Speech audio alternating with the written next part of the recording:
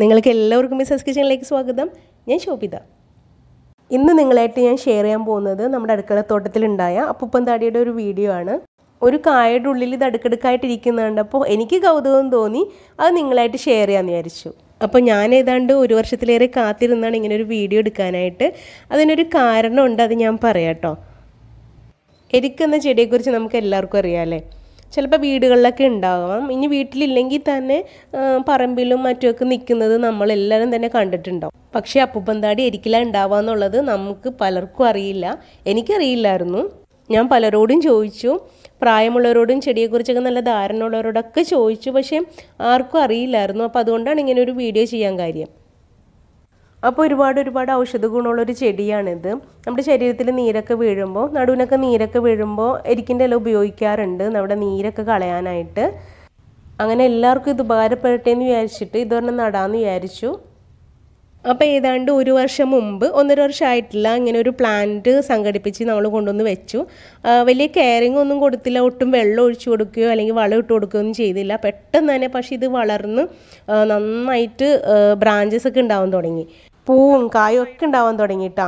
അപ്പോൾ ഒരു മഴ പെയ്യുന്ന ശേഷം നോക്കുമ്പോൾ പറമ്പ് നിറച്ച് എരിക്കിന്റെ തൈകൾ നമുക്ക് ആർക്കും അറിയില്ലായിരുന്നു. അപ്പപ്പന്താടി പറന്നുപോയി മുളച്ചതാണിതെന്ന് അപ്പോൾ പറമ്പ് മുഴുവൻ ഇതാവുമായിരിക്കുമല്ലോ. ഇത് ശല്യമായി ഇത് വെച്ചത്. ഇപ്പോൾ ബുദ്ധിമുട്ടായോ എന്ന് ഓർത്തിട്ട് ഞങ്ങൾ എല്ലാം പിടിപ്പിക്കാനുള്ള സൗകര്യമില്ലല്ലോ. ഒരുപാട് സ്ഥലമൊന്നുമില്ല. കുറച്ച് സ്ഥലത്ത് നമുക്ക് കുറേ അതും ഇതൊക്കെ നടാനായിട്ട് പ്ലാൻ ഉണ്ടായിരുന്നു. അതുകൊണ്ട് പലതും പറിച്ചു കളഞ്ഞു. പിന്നെ ഇതിനകത്ത് ഉണ്ടാകുന്ന കായൊക്കെ നമ്മൾ പറിച്ച് കളയാൻ തുടങ്ങി. അതങ്ങോട്ട് മൂക്കാനൊന്നും ഇട കൊടുക്കാണ്ട് പറിച്ച് കളയാൻ തുടങ്ങി. എന്നാൽ ഞങ്ങളുടെ ശ്രദ്ധയിൽപ്പെടാതെ ഒരു കായ ഇതിനകത്ത് കിടപ്പുണ്ടായിരുന്നു. അത് മൂത്ത് അത് പൊട്ടി എന്തോ ഒരു സംഭവം പറക്കുന്നത് കണ്ടു. ഞാനല്ല കണ്ടത് കാക്കയാണ് കണ്ടത്. അപ്പോൾ അത് ശ്രദ്ധിച്ചപ്പോഴാണ് അറിയുന്നത് അപ്പൂപ്പൻ താടിയാണെന്ന്. അപ്പം ശരിക്കും അത്ഭുതം എന്താണ് എന്താ വിശ്വസിക്കാൻ പറ്റാത്തൊരു സംഗതിയായിട്ടാണ് നമുക്ക് തോന്നിയത്. അപ്പോൾ ഞാനിത് കണ്ടിട്ടുണ്ടായില്ല. എന്റെ അടുത്ത് ഇങ്ങനെ പറഞ്ഞു ഇങ്ങനെ നമ്മുടെ വീട്ടിൽ അപ്പൂപ്പൻ താടിയുടെ ചെടി ഉണ്ടെന്ന് പറഞ്ഞപ്പോൾ എനിക്കറിയില്ലായിരുന്നു ഇത് എരിക്കാണ് ഇതിന്റെ ചെടിയെന്ന്. അപ്പം ഞാൻ വന്ന് നോക്കിയപ്പം എല്ലാം ഇതെല്ലാം പറന്നു പോയിട്ടുണ്ടായിരുന്നു. പിന്നെ ഏതാണ്ട് കുറച്ച് മാസം കാത്തിരുന്നത് പൂവും കായ്ക്കിടാനായിട്ട്. അപ്പം ഇപ്പോഴാണ് അത് ഉണ്ടായത്. ഇത് പൂവിട്ട് കഴിഞ്ഞാൽ പിന്നെ ഇതിനകത്ത് നിറച്ച് വണ്ടായിരിക്കും. അപ്പോൾ വണ്ട് നമ്മളെ നടുപ്പിക്കില്ല. രണ്ടു പ്രാവശ്യം കാ പറിച്ചപ്പോഴും വണ്ട് ഞങ്ങളിട്ടുണ്ട് ഓടിച്ചു. ഒരുപാട് വണ്ട് ഇതിനകത്ത് വന്നിരിക്കുന്നുണ്ട്. കാ പറിച്ചപ്പോഴത്തേക്കും വണ്ട് ഞങ്ങളിട്ടുണ്ട് ഓടിച്ച്.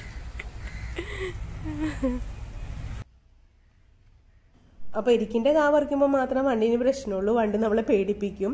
ഇതിനകത്ത് കോവൽ കോവലിന്റെ വള്ളിയും കുറച്ച് പടർന്നിട്ട് കുറച്ച് കോവയ്ക്കൊക്കെ ഉണ്ടായിട്ടുണ്ട് അപ്പം ഞാൻ ഇടയ്ക്ക് കോവയ്ക്ക് പറിക്കുമ്പോൾ എനിക്ക് കിടന്ന് ഇങ്ങനെ ഇളകൊക്കെ ചെയ്യും. പക്ഷേ വണ്ടിന് കുഴപ്പമൊന്നുമില്ല നമ്മളൊന്നും ചെയ്യാറൊന്നുമില്ല.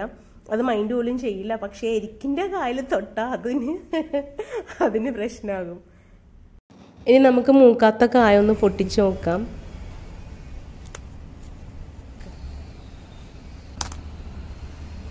ദേ വണ്ട്. ഇതിന്റെ അടുത്തേക്ക് ഒരു സുഖം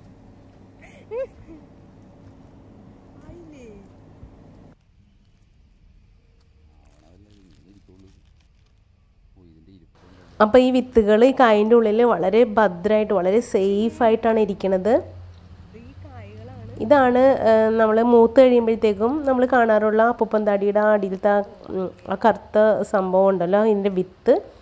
ഇത് മൂക്കുമ്പോഴാണ് ആ ഒരു കളർ ചേഞ്ച് വരണത്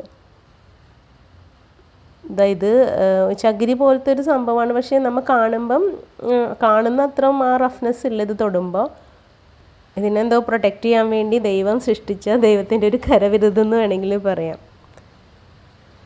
ആ നമ്മൾ താടിയെന്ന് വിളിക്കുന്ന ആ പഞ്ഞു പോലത്തെ സംഭവമാണിത്. ഇത് അത്ര വൈറ്റാണ് നല്ല വൈറ്റ്നെസ് ആണല്ലോ ഇതിന്. അപ്പോൾ അതുകൊണ്ടാണ് ഇത് അപ്പൂപ്പൻ അപ്പൂപ്പൻ താടിയെന്ന് വിളിക്കാൻ കാര്യം ഇതിന്റെ ആ വൈറ്റ്നസ് കണ്ടിട്ടാണ്. അപ്പോൾ ഇത് വിടർന്നിട്ടില്ല ഇത് മൂത്ത് കാ മൂത്ത് ഇങ്ങനെ പൊട്ടി വരുമ്പോഴായിരിക്കും ഇത് വിടർന്ന് വരിക ഇനി നമുക്കൊരു മൂത്ത കായും കൂടി നോക്കാം. ഇത് ചെടിയിൽ നിന്ന് തന്നെ മൂത്ത് പൊട്ടി അപ്പൂപ്പൻ തടിയൊക്കെ പുറത്ത് വന്ന് തുടങ്ങിയ ഒരു കായാണ് കേട്ടോ ഇതാ എന്ത് ഭംഗിയാന്ന് നോക്കിയേ. ഞാനിത് ആദ്യമായിട്ടാണ് കാണുന്നത്. ഇവിടെ ഉണ്ടായത് കാരണം അപ്പം നിങ്ങൾ നിങ്ങളുടെ നിങ്ങൾ കണ്ടിട്ടുണ്ടോ ഇതിനു മുമ്പ് കണ്ടിട്ടുണ്ടോ? നിങ്ങൾക്ക് അറിയാമായിരുന്നോ ഈ എരിക്കിൻ എരിക്കിലാണ് ഇങ്ങനെ അപ്പം തടി ഉണ്ടാവണത് നിങ്ങൾക്ക് അറിയാമായിരുന്നോ എന്നൊക്കെ എനിക്ക് കമന്റ് ചെയ്യണം കേട്ടോ. പിന്നെ ഈ വീഡിയോ ഇഷ്ടമായാലും തീർച്ചയായും ഒരു ലൈക്ക് കൊടുക്കണേ. ലൈക്ക് കൊടുക്കാൻ മറക്കരുതേ.